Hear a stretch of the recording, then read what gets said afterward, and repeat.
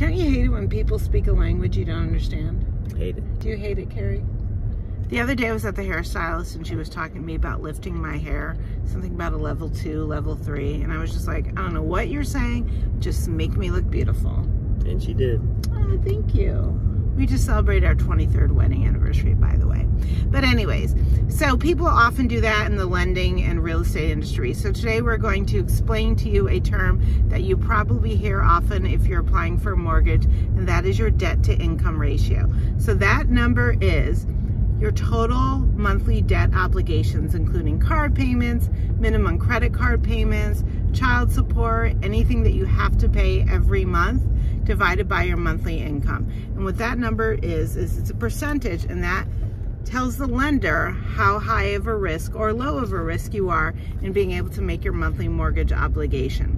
So lenders like that number obviously the lower the better so they look for it to be around 36 to 40 that means you're pretty low risk if you get up higher 48 to 50 percent lenders feel like you're too high of a risk and they may not give you they will not cut your throat but they may not grant you the mortgage so keep that in mind and the other tip is do not go out and buy anything major when you are in the process of qualifying for a mortgage. That's going to throw off your debt to income ratio.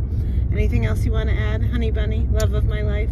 Uh, well, great lenders can make uh, make your life a lot easier. We happen to have a, a really, really good lender. He's very communicative. He's very professional. He's very competitive. So if you want a referral, we'd be happy to do so. Give us a call. Carrie, what do you think? Carrie's super hot. It's hot out there.